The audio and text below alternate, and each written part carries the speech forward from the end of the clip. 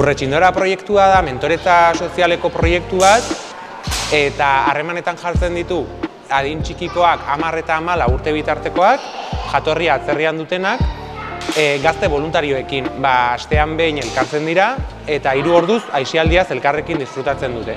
Gure esperientzetik abiatuta konturatu ginen ja aspaldi, bazirela ume desente gure inguruan, e, behar, oinarrizko beharrak asetuta zituztela, baino bestelako behar batzuk akaso ez horren beste, eta batez ere aisialdia eukitzeko beharra. Guk badakigu kristonera ginona daukala, eta bizentzutan, ez bakarrekan umeentzako, voluntario moduan dauden gazteentzako ere bai. Beraiek askotan esatu dute asko ikasten dutela eta nahiko harreman horizontala dela.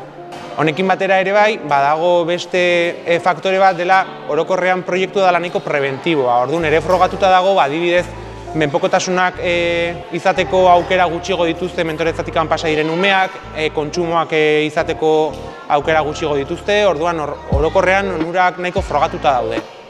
Orduan nik animatzen ditut horrelako ekimenetan parte hartzeko urretxindorra izan daiteke bat, baina horrelako beste asko ditugu oso alor desberdinetan edo nor kartu dezake parte proiektu batean edo beste, orduan animatzen ditut ba, gu bezala e, harrera herria izateko gurekin lan egitera.